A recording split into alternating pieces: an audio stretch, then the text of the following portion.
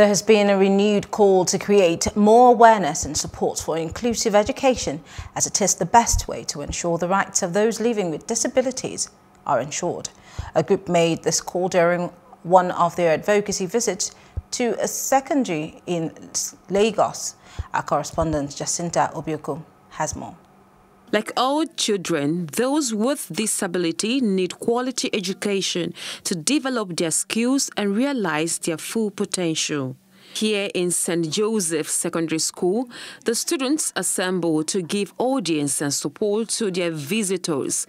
Festus Fajamilo Foundation. They are on a mission tagged We Ring the Bell, an advocacy and awareness campaign on the rights to education of children with disabilities.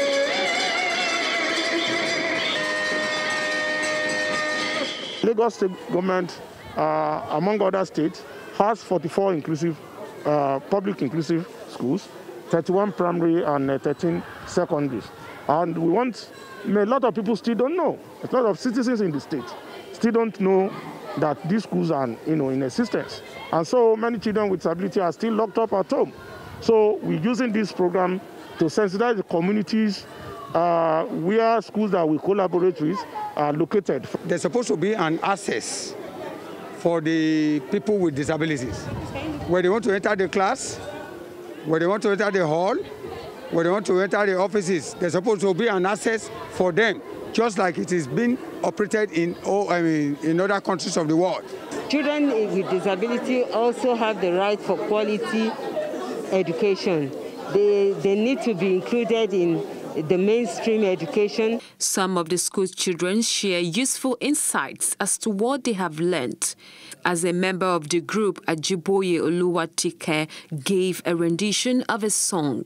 Schools should try and encourage them to come to their schools, not don't make them feel like they are not wanted in the society. From these events, I was able to understand that we should be able to aid and help the physically challenged in any way we find us, in any way we find them in our environment. I would like to say to those that has disability that they should be encouraged. They should not let anything pull down their self-esteem. I'm destined to fly, fly,